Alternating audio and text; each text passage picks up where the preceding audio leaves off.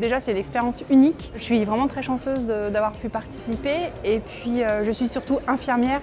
Donc, euh, c'est quelque chose qui me touche euh, particulièrement. Et voilà, j'avais à cœur de pouvoir apporter peut-être un peu de mon expérience, mais voilà, de pouvoir porter ma voix et de donner mon opinion sur cette convention. J'ai l'impression qu'on a quand même bien cerné euh, notre sujet.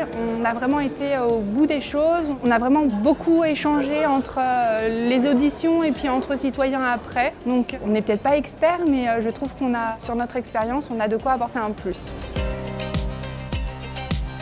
J'ai beaucoup apprécié notre table ronde où on a pu découvrir tout notre livrable sur des affiches et où on a pu euh, donner euh, chacun quelques petits points à corriger, à améliorer. Euh.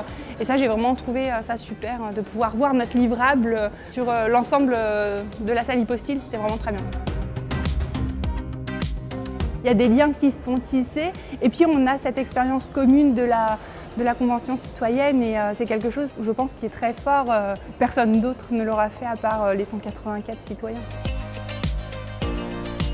On a travaillé sur des grosses sessions, c'était intensif. Les deux premières sessions où on a pu débattre, où on a pu accueillir des auditions étaient plus simples peut-être à vivre et à digérer, on va dire.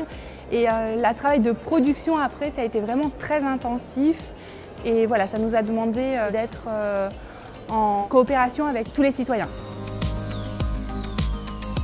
J'espère qu'on aura un livrable euh, à la hauteur de nos espérances, à la hauteur du travail que l'on a fourni, qui reflète vraiment tous les débats qu'on a pu avoir, tout le cœur qu'on a pu mettre dans ces débats, dans cette rédaction, que ça reflète vraiment notre implication dans cette convention, parce qu'on a été très impliqués, et toute la bienveillance et l'écoute que les citoyens ont pu faire preuve lors de toutes ces sessions.